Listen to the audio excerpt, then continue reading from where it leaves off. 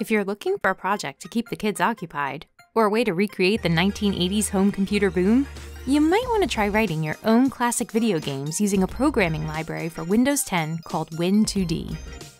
We wrote a sample maze chase game using Win2D for you to download and experiment with. It's not a complete game, but you can finish it pretty quickly.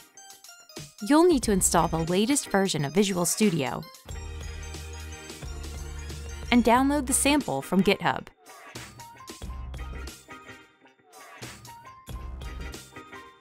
You can compile and run the game right away, but it's more fun when you start to make your own changes. You can start by adding an extra bad guy. Then you can give them some intelligence to track down the player.